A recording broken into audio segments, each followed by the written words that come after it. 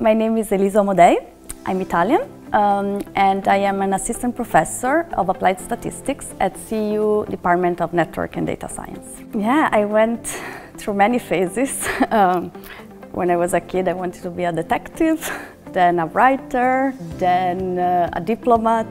In my current job, uh, I do a little bit of all of this actually. so I was born in Venice, I guess I have to say that. but uh, I lived in all three cities and my favorite uh, place to live in was Bologna.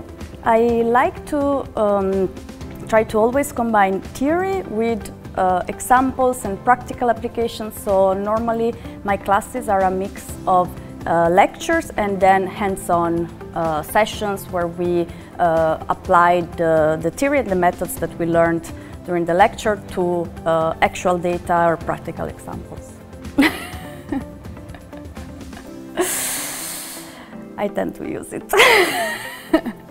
My classes mostly focus on statistical analysis, data analysis, and I think nowadays it is very important to understand the world around us uh, through data, given the amount of data that is generated uh, on a daily basis from election outcomes to socioeconomic inequalities uh, to understanding the consequences of climate change, for example. Curiosity for um, empirical research and so understanding things through empirical analysis.